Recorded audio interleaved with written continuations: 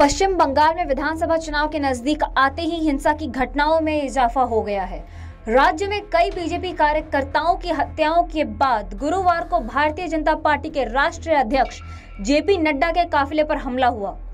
अब राज्यपाल जगदीप धनखड़ ने कहा है कि मुख्यमंत्री ममता बनर्जी को संविधान का पालन करना होगा। राज्यपाल के बयान के बाद आशंकाएँ उठ रही हैं कि क्या चुनाव से पहले ही बंगाल में राष्ट्रपति शासन लगाया जाएगा। इसके पीछे एक वजह यह भी है, क्योंकि गृह मंत्रालय ने शुक्रवार को पश्चिम बंगाल के डीजीपी और मुख्य सचिव को कानून व्यवस्था को लेकर समन भेजा है।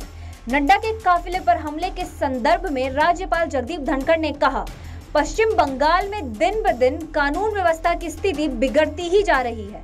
राज्य में भीतरी और बाहरी का खतरनाक खेल चल रहा है। उन्होंने ममता सरकार पर आरोप लगाते हुए कहा कि पश्चिम बंगाल में कानून का उल्लंघन करने वालों को पुलिस और प्रशासन का संरक्षण मिला हुआ है। उन्होंने आगे कहा कि ममता बनर्जी को कल दिए गए अपने बयान को लेकर माफ़ी मांगनी चाहिए।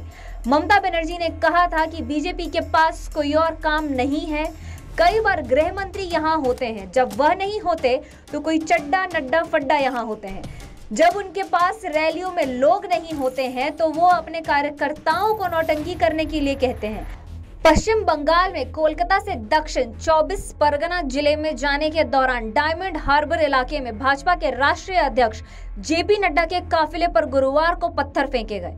पथराव की घटना में पार्टी के राष्ट्रीय महासचिव कैलाश विजय वर्गीय की कार में तोड़फोड़ की गई थी। पश्चिम बंगाल बीजेपी प्रमुख दिलीप घोष ने बताया था डायमंड हार्बर की हमारी यात्रा के समय तृणमूल कांग्रेस के समर्थकों ने रास्ता अवरुद्ध कर दिया और नड्डा के वाहन तथा दूसरी गाड़ियों पर पत्थर फेंके।